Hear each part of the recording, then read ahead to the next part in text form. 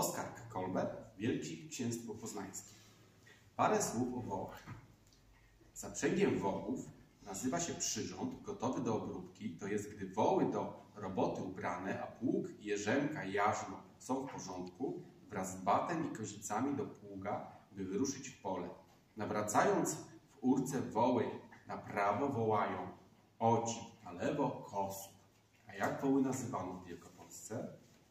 Woły podług maści, czerwony, siwy, pestry, czarny, łysy i tak.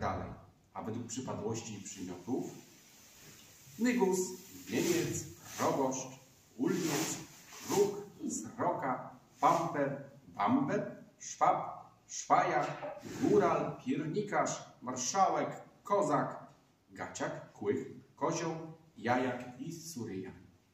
I na koniec opowieść o tym, jak woły ustrzegły od zarazy wieść Sabiną. Gmina, chc- chcąc się bowiem zabezpieczyć od moru straszliwego, tak sobie była zaradziła. Wybrała z pomiędzy siebie dwóch chłopców bliźniaków i dwa woły bliźnie. Chłopcy ci zaprzęgli rzeczone woły do pługa i oborali całą naokół wieś. Zaraza więc już nie miała gdzie przystąpić przez tę skiwę, a chociaż krążyła po okolicznych wioskach, to do Sarbinowa kroczyć.